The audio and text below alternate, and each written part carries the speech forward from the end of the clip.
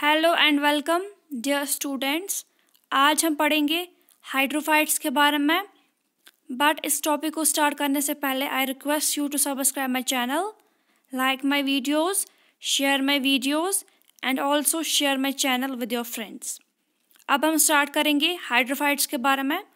तो जो हाइड्रोफाइट्स होते हैं, ये ऐसे प्लांट्स होते हैं जो वाटर में ग्रो करते हैं या वेरी वेट प्लेस में ग्रो करते हैं. हाइड्रोफाइट्स सबमर्जिड होंगे या पार्टली सबमर्जिड होंगे फ्लोटिंग होंगे या एम्फीबियस होंगे। इनकी स्ट्रक्चरल अडेप्टेशन जो है वो किस वजह से है? Due to high water content की वजह से और डेफिशिएंट सप्लाई जो है ऑक्सीजन की उस वजह से।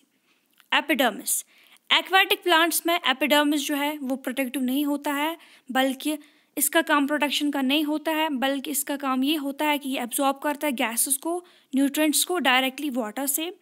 कॉमनली क्लोरोप्लास्ट जो है, वो पाया जाता है एपिडर्मल सेल्स में एस्पेशली जब लीव्स थिन होते हैं तो ये क्लोरोप्लास्ट क्या करते हैं? ये यूटिलाइज करते हैं वीक लाइट को वाटर के अंडर और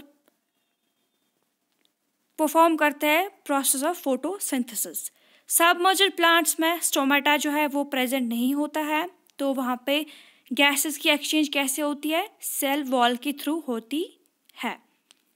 फ्लोटिंग लीव जो होते हैं एक्वेटिक प्लांट्स के, उनके पास अबंडेंट स्टोमेटा होता है अपर सरफेस के साइड से।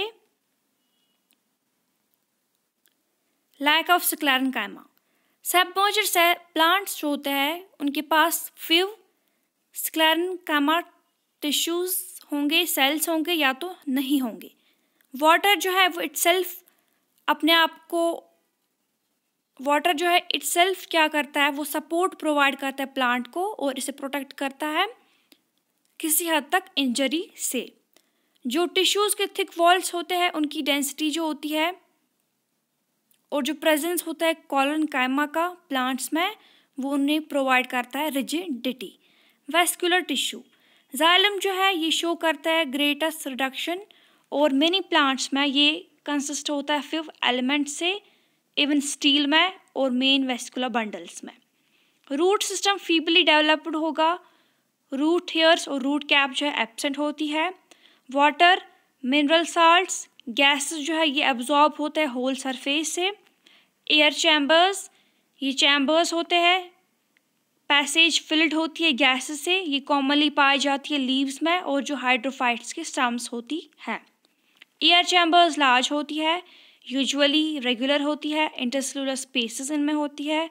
ये एयर चैम्बर्स जो है, एक तरह से प्लांट को बियॉन्सी प्रोवाइड करते हैं ताकि ये फ्लोट कर सके।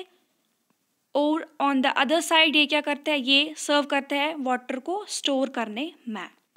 अनदर स्पेशलाइज टिश्यू जो फ्रिक्वेंटली पाया जाता है एक्वाटिक प्लांट्स में, वो है एरन कैमा जो बयोन्सी प्रोवाइड करता है प्लांट के पार्ट्स को।